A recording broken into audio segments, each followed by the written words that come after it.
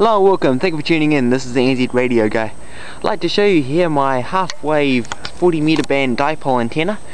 It's um, tuned for, well, supposed to be tuned for 7.15 megahertz. Unfortunately I haven't managed to get around to tuning it with an SWR meter yet, but I uh, should get, get around to that soon. Um, yeah, each element's a bit over 32 feet uh, long each.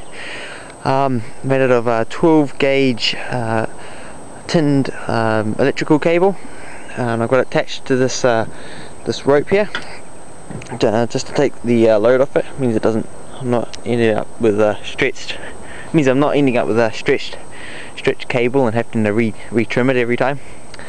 Um, I've got my uh, center tap there. Uh, let's see where is it? There somewhere.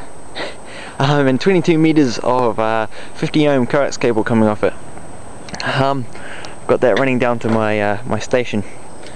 Um, make it easy to uh, to hoist. I've got a uh, little quick um, purchase system here which uh, makes makes life a lot easier.